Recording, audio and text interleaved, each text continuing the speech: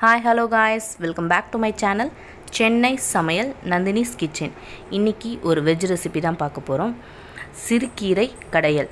ரொம்ப சூப்பராக இருக்கும். இந்த மாதிரி செஞ்சு சாப்பிட்டிங்கன்னா கண்டிப்பாக கீரையை சாப்பிடாதவங்க கூட கண்டிப்பாக டெய்லி கேட்பாங்க. பசங்க ரொம்ப விரும்பி சாப்பிடுவாங்க. மெயினாக என்னோடய பசங்க நாங்கள் செய்கிற கீரை கடையல் ரொம்ப விரும்பி சாப்பிடுவாங்க. வாங்க எப்படி செய்யுதுன்னு பார்க்கலாம். ஃபஸ்ட் ஃப்ரெஷ்ஷாக சிறுகீரை எடுத்திருக்கோம். ஒரு கட்டில் பாதி கட்டு தான் இன்றைக்கி நாங்கள் எடுத்திருக்கோம். எங்களுக்கு அதுவே அதிகம். நல்லா ஃப்ரெஷ்ஷாக இருக்குது நல்லா க்ளீன் பண்ணி வச்சுக்கலாம். இப்போது ஒரு கிளாஸில் ஒரு ஹாஃப் கிளாஸ் சிறுபருப்பு எடுத்துருக்கோம். நாங்கள் எப்பயுமே கடையில் வந்து கீரை கடையில் வந்து சிறுபருப்பில் தான் செய்வோம். நல்லா வாஷ் பண்ணிக்கலாம் டூ டூ த்ரீ டைம்ஸ் இது ஊற வைக்கணும்னு அவசியம் இல்லை. ஊற வைக்கிறதுனால ஒரு ஃபைவ் மினிட்ஸ் போதும் ஊற வைக்கிறதுக்கு.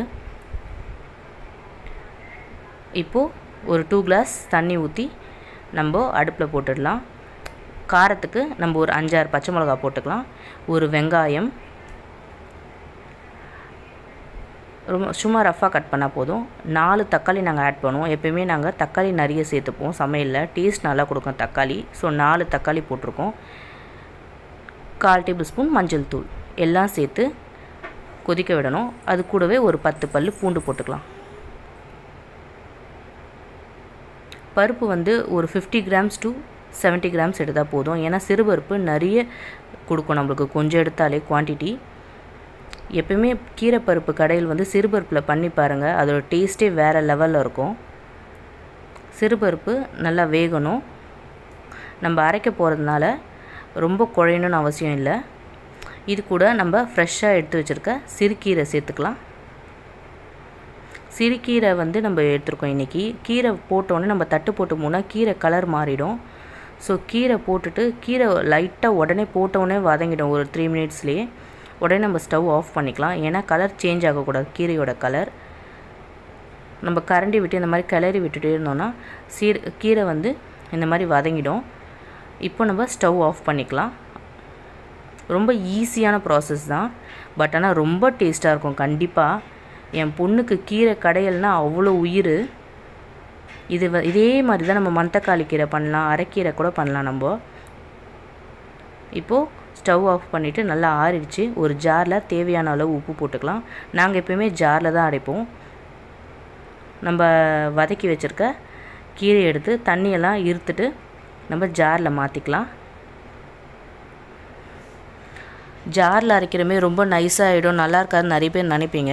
கண்டிப்பாக ட்ரை பண்ணி பாருங்கள் ரொம்ப ஈஸியான ப்ராசஸ் ரொம்ப நம்ம நைஸாக அரைக்கக்கூடாது. சும்மா ஒன்றும் பாதியமாக லைட்டாக விட்டு எடுக்கணும் சுற்றி எடுக்கணும் இதோ இந்த கன்சிஸ்டன்சிக்கு போதும்.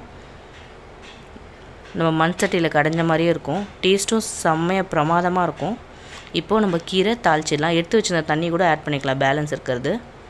ஒரு சின்ன தாளிப்பு கடாயில் நம்ம ரீஃபைண்ட் ஆயில் தான் எடுத்திருக்கோம். ஒரு three tablespoon refined oil கடுகு ஒரு ஹாஃப் டேபிள் ஸ்பூன் போட்டதும் கடுகு வெடித்ததும் ஒரு ஹாஃப் டேபிள் ஸ்பூன் உளுத்தம்பருப்பு கண்டிப்பாக உளுத்தம்பருப்பு சேருங்க. அதான் டேஸ்ட்டே கீரைக்கு. இந்த கடுகும் உளுத்தம்பருப்பும் வறுபடணும். இப்போது ஒரு நாலு பல் பூண்டு தட்டி வச்சுருக்கலாம். அதை சேர்த்துக்கலாம். தோலோடவே தட்டிக்கலாம். ஓகே. பூண்டு சேர்த்ததும் ஒரு ரெண்டுலேருந்து மூணு காஞ்ச மிளகாய் உங்கள் காரத்துக்கு ஏற்ற மாதிரி கிள்ளி போட்டுக்கலாம். அதுலேயே இப்போ இந்த தாளிப்பை தூக்கி அப்படியே நம்ம கீரை கடையில் ஆட் பண்ணிக்கலாம். இது கூட நல்ல நாட்டுக்காய் வறுத்து நம்ம சாப்பிட்டோம். நாட்டுக்காய்னா வந்து முருங்கைக்காய் கத்திரிக்காய் வாழைக்காய் உருளைக்கிழங்கு இதெல்லாம் நல்லா ஃப்ரை பண்ணி சாப்பிட்டா செம்மையாக இருக்கும். அவ்வளோதான் தாளித்த உடனே மூடிடணும். சிறு கீரை பருப்பு போட்டு கடைஞ்சாச்சு.